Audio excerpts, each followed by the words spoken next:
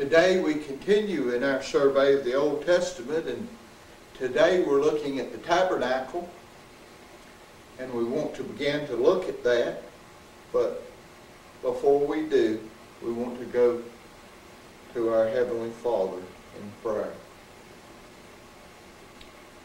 Heavenly Father, give us wisdom and understanding in all our study of the Word of God, how we need it. Lord, may we be guided and directed into your truth. May we not limit you, but may we not step out beyond what your word has said in any direction to our own ideas and our own thinking. And so, Father, we pray for the ministry of the Holy Spirit and the organization of our thoughts upon this material today, we pray. Lord, help us and guide us. And may as we view these things and think about these things, may they cause us to rejoice and to think about you. and Lord, we know that you're the God of heaven and earth. May you be the God that sits on the throne of our life, we pray. In Jesus' name, we ask these things. Amen. Our God is so very great. His wisdom is all knowingness, and so God in His creation, and God in His Word, and God in His planning has put so much there that sometimes we miss much of it, I know. And perhaps in all eternity, things that we do not know and could not possibly know now. Not the things of premier importance in the Word of God. They are clearly seen, but even details about them that is not apparent, that is not the primary uh, emphasis of the Word of God or the primary purpose for us to know them, we will be able to take the Scriptures and see things, pictures, and examples, and workings, and plannings, and why God did this and why He did that, and in our lives too. That God's marking out of things for us, that every little detail always conforms to His purpose and His plan. God is so great and so smart and so wise that there is no limitation to his wisdom or his power. I remember that when we studied the Old Testament and studied the tabernacle in college, in the Bible college that I went to, I think it was then and not later, but there was this uh, minister that had a working taber, a model of the tabernacle, a, uh, a, a, model that scholars had uh, on the information of scholars and teachings and the number of the posts and the gates and the layout of the uh, uh, furniture in the tabernacle and the materials that the tabernacle was made, he had a working model of it so that he could set the thing up and you could visibly see the idea of scholars as to how the tabernacle looked. And he would teach for several months uh, course upon the tabernacle and, and its meaning. And it was very impressive, I know. And it was amazing to hear and see the information that, that had been built into that model and built into the study of the thing. And so as I rethought about and restudied the tabernacle and went back and, and did some research upon it, I did so not really knowing how I was going to handle all that great information. And there is a tremendous amount of information in the, uh, in the study of the tabernacle that I suppose is possible. One thing that I found, though, that I had not realized before, and maybe this is the kind of thing that uh, that time and thought and maturity may produce, I found as I went back and read that scholars are not absolutely sure, some of them, about the arrangement of the furniture. That we aren't told exactly. Now, we have arranged it perhaps on the basis of how we think it is based on the scripture, I know. And, and uh, but the arrangement of the tabernacle may not be certain because there's one famous leading scholar that takes a verse of scripture where the talks about the brazen altar being by the gate. And so he puts the, the first two uh, objects of furniture outside the, the post of the tabernacle and not inside as, as most scholars have and suppose. And of course, when I read things like that scholars write, and most of the furniture in the tabernacle was made of what is called acacia wood, or sometimes translated shittim wood, but this wood was a durable, practical, lasting wood that was present in the land of Palestine that had a lasting quality to it, and scholars have attributed that to the humanity of Christ. Now, how they know that that piece of wood in its characteristics refers to the humanity of Christ, I do not know for sure. And I just take their word for things like that. But I'm sure if I studied the wood and its characteristics that I might get some ideas why they would say that. But here again we get into the area of the difference between type and picture.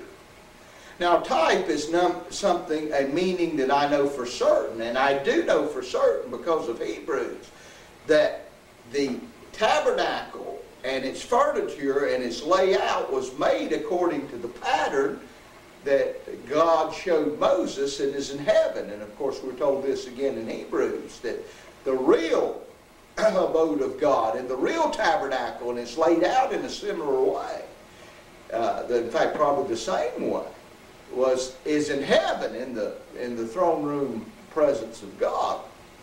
And the veil, of course, there, uh, that was rent, and all of this. Uh, uh of course, we know that the veil uh, represented the flesh of Christ. And when he died on the cross, that that veil was rent in two. And by his death, by the death of his, his uh, physical life on the cross, that that way was opened into the holiest place of salvation for every person. There are many things like that that we do know. And it is very possible, as this teacher that had the model indicated, that everything meant something. At least everything is, a, is an illustration of a possibility of something. But sometimes, as an allegory and as assuming meanings, scholars might be wrong in that we just take, you know, an idea. Like, for instance, the colors of the materials of the tabernacle. Now, there was the color of white, which we know that refers to purity. And there was the color blue, which we know that generally is attributed to heavenly things. There's the color of scarlet, which we, of course, attribute to uh, redemption. And uh, there was the uh, gold in the uh, tabernacle that we attribute to value and preciousness and deity. Uh, but sometimes I think we stretch these ideas perhaps beyond types to just mere illustrations and pictures. And as we've said, you can find a picture of the gospel everywhere if you want to. You can make the telephone pole across, and the lines that go through it carry the gospel just as we're supposed to carry the gospel in all the world. The lines carry the, uh, the gospel and what we need is power in our Christian life, and that's what the lines of the electric from the from the uh, from the poles supply. They supply power, and so from the power of the cross and Jesus, we get. And you see where I'm going with this. As long as you deal in allegory and symbols, you can build a system, and and and there's a meaning everywhere in anything, and you can make everything mean something if you just apply logic and the basic truth that you start with. So I'm, anxious to get to heaven and, and, and let God tells me what all these things mean because some of the scholars that I read after, they may be wrong. Some of the scholars said they, there's no way of knowing how many posts there are in the, in, in the tabernacle walls that made up the wall. And there's no way of knowing exactly how the furniture was arranged in the tabernacle.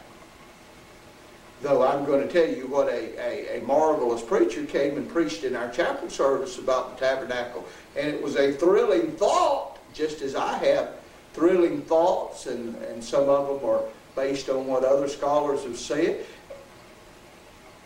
We do not know but we do know that the tabernacle is a type and a picture. It is made after the pattern of what is in heaven. And so today, we're going to say, know the meaning of the tabernacle. Now, we're going to try to deal with things that we do know are there and possibilities of their importance and significance. And even in that, you know, even in that, I'm taking what other scholars say a lot of the times of course, they make sense and they can base it up on, on current usages. And we haven't de dealt with numerology in the Bible, and I think that numerology can be a tool, like the number seven is oftentimes represented the complete set of something. The number 10 sometimes has significance in, in periods of time and in testing. Uh, the uh, number 40, 40 days, has significance in certain areas. And there is the numerology of the Scripture, and all that involves in the, the number of posts in the tabernacle and the place it was set up in the camp. I am saying this. Our God is so great that there may be pictures in everything He's ever done, in any event in Scripture. But the important emphasis of the Word of God, I think, are there in the literal surface meaning so that we do not have to build our faith on whether the number of fence posts in the wall was 100 or 50 or 60 or 35. Everything doesn't have to be exact. And in a parable and in a uh, uh, in the parables that Jesus told, it teaches one main truth. Every event in the parable doesn't have to dovetail together, though many of them do. And so in our study of the tabernacle, we're going to try to deal with the main parts. And, and I don't remember all the things that the guy said about the model of the tabernacle.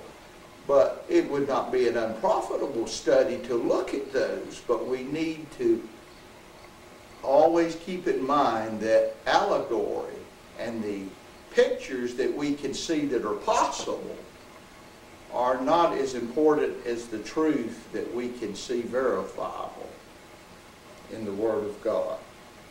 And so today we say, know the meaning of the tabernacle. How can you do that? Well, we can see what it represents, and we must do that.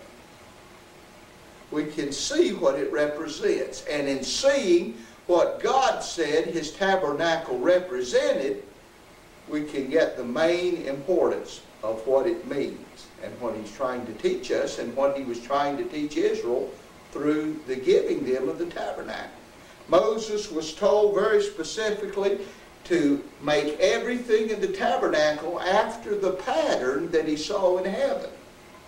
Now, I do not know what ev that everything was, and that, of course, is an implication that even the, the length of the, the uh, cloth, the, uh, the color of the cloth, and as I said, scholars disagree upon what some of these animal skins, which animal it was, and and there's one of them that seems to be untranslatable in the Hebrew. They don't know for sure which animal it's referring to. And, and possibly, uh, like in the goats, the goat, we know that one of the layers of the animal skins anyway was goat hair, and it was black. And of course, black usually refers to sin, and the black, if it was black, was between the red and the white. And of course, we could, uh, it looks like that it would be black red, and then white, and maybe that was the way it was laid in there. Black our sins, red, uh, redeemed by the, by the uh, salvation of God and the cross of Christ, and then white, having been changed and made pure in His sight. But you see, you see the complexity of this. But this we do know for sure, that Moses was told to build the tabernacle according to the pattern that he had seen that was in heaven. And we know from Hebrews that there is a heavenly situation where God represents these truths and has these objects of furniture in heaven representing what was physically put in the tabernacle on earth. We know that from Hebrews for sure. These are not imaginary things, but God has these same lampstands and the same shewbread table and the same uh, altars, the altar of incense and the brazen altar and the laver. These things are in heaven. And so Moses was told, make sure you build everything the way that I tell you to, every part of it. Make sure that the mixture of used in the frankincense and uh, incense and the oil of anointing, make sure it is ever duplicated and produced for any other use beside the worship that I have in the tabernacle. And so it may mean be when we get to heaven, we'll understand that every single thing in the tabernacle meant something. But until God tells us what it means, then what we think it may mean may be right and it may not. And the pictures that we imagine may be accurate and they may not, and we need to understand that. And of course, the main feature of the tabernacle was that all of it together, and especially the ark, which was in the Holy of Holy Place, the main feature of the tabernacle was that it represented the presence of God. It represented the presence of God. God was among his people. God was there. He was seen as is localized, and, and we have what is called the Shekinah glory, which people believe that there was a glory. And remember when the tabernacle was built and dedicated, Moses could not remain there because of the glory, and he had been in the very presence of God. The glory that filled the tabernacle, God miraculously filled it, just as he miraculously perhaps sent the fire down to the brazen laver, and it, where the sacrifices were the brazen altar where the sacrifices were made, and it was never to go out. It kept burning perpetually. And God's Shekinah glory, the glory that was in the pillar and the cloud, rested perhaps, came uh, and rested on the tabernacle, and his presence was manifested in his people. And the lesson, of course, was that God himself is here with you, with Israel, as you journey, as you live. And the lesson to us is that Jesus spiritually lives within our heart. The Holy Spirit lives within our heart. The presence of God the Father is in our heart. And, and though He is great and marvelous and the God of the universe, and we have never physically seen Him, His spiritual presence is with us. And if we're going to know the meaning of the tabernacle, we need to look at its furnishings. Now, what was in there? There was the brazen altar. And of course, we do know through the study of symbols and meanings that this word bronze and brass all, uh, usually refers to judgment, almost always. And, and this altar where the sacrifices were offered and the fire was perpetually kept and the sacrifices were burnt that God wanted burnt. This was an indication of the holiness and the judgment of God there was a laver, we don't know how large it was there, in which uh, brass laver in which water was put, which the priest used for washing and cleansing, and they must ceremonially represent the washings. And of course, this may be, and I think is it, the idea of what Jesus said to Nicodemus. You, uh, that, uh, that you must be uh, born of water and of the Holy Spirit. That is, there must be that uh, regeneration as Paul talks about in, in Titus by the washing of the Holy Spirit. Being regenerated as the priest, cleansed with salvation as the priest washed their hands representative of the salvation that's in, in Christ. And uh, I think we see that in the laver. And the laver was there.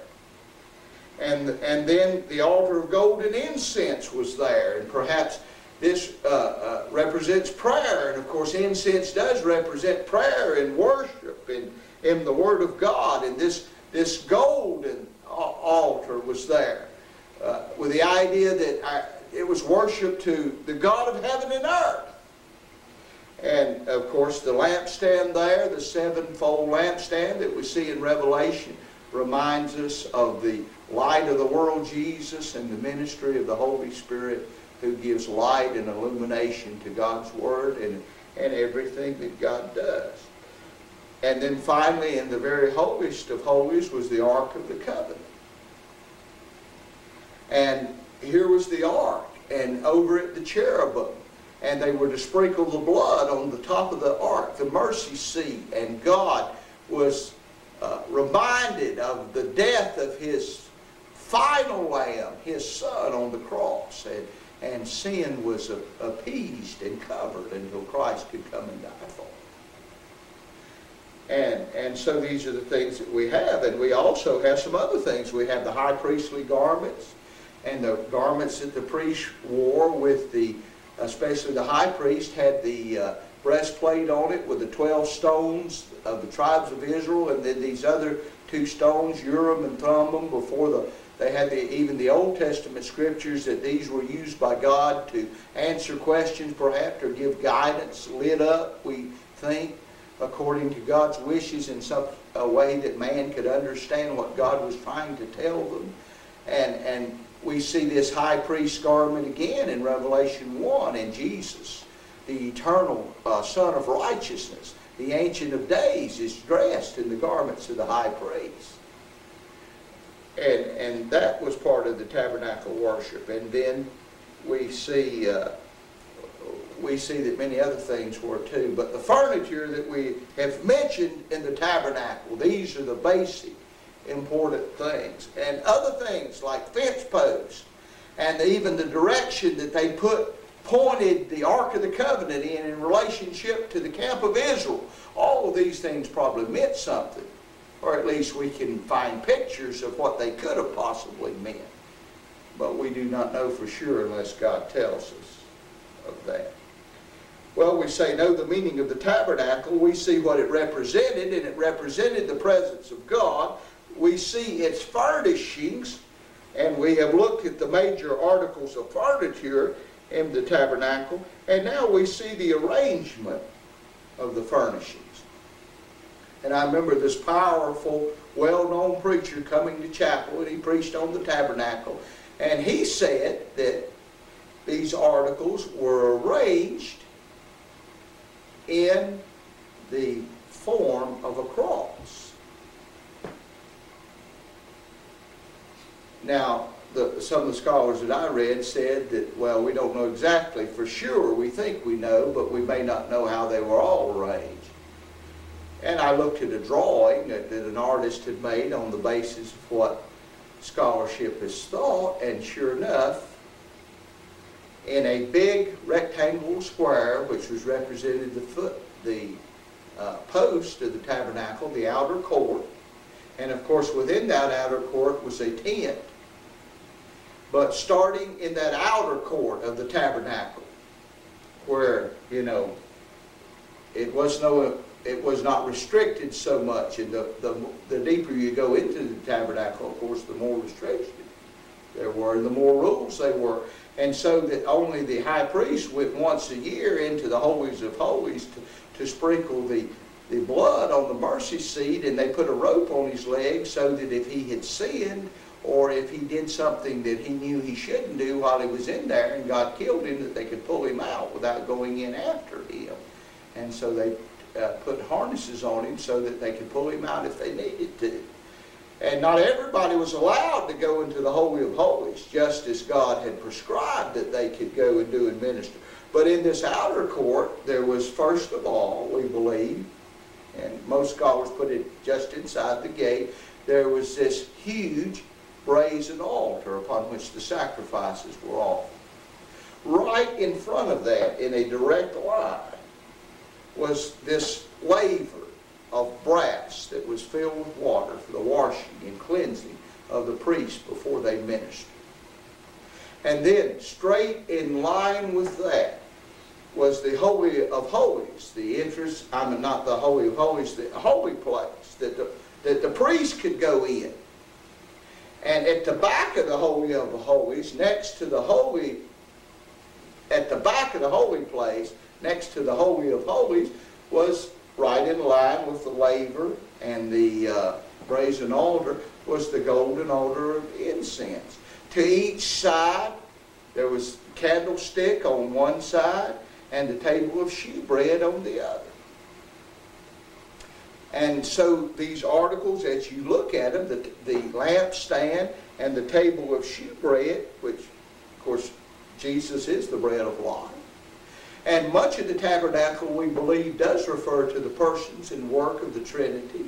And Jesus' redemption, the cross, is at the heart of everything that is done. And then back up straight behind the, uh, the golden incense in the Holy of Holies was the Ark of the Covenant. So that these things line up as a cross, this man said.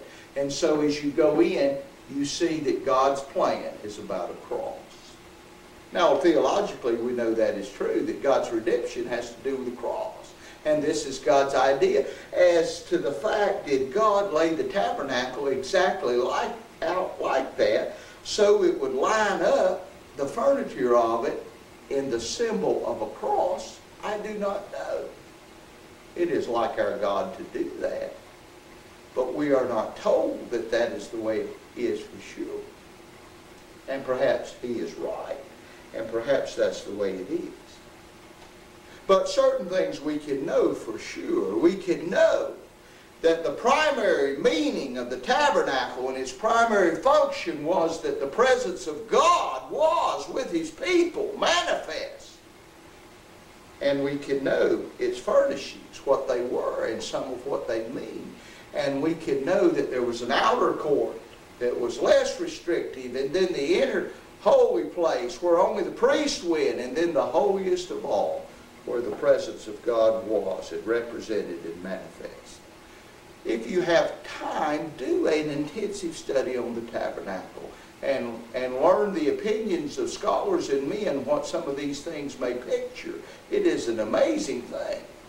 But do not forget about what God has clearly said that the important things mean today, I pray. Amen.